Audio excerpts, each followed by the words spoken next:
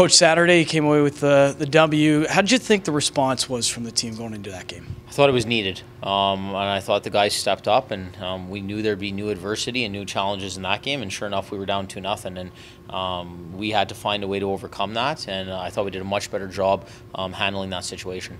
Guy who was impactful in the game was Rhett Gardner. How important is it for him to be an impactful player uh, to get a little bit of depth in the lineup? Uh, it's big. Um, we need different guys stepping up uh, each night, especially down the stretch here. Um, you know, if we want to make the push we want to make, um, you know, we need new contributions uh, daily, and uh, I thought uh, guards did a real good job over both games. One guy who also contributed, Ondrej Vala, you coached him in Idaho.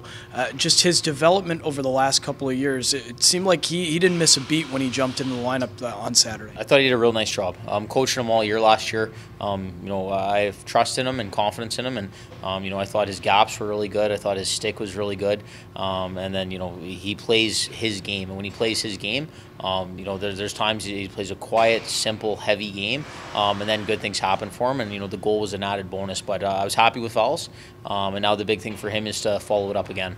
Little bit of different circumstances for these teams matching off than uh, back in January. It's kind of both teams clawing for some points. You expect, expect something very physical tonight.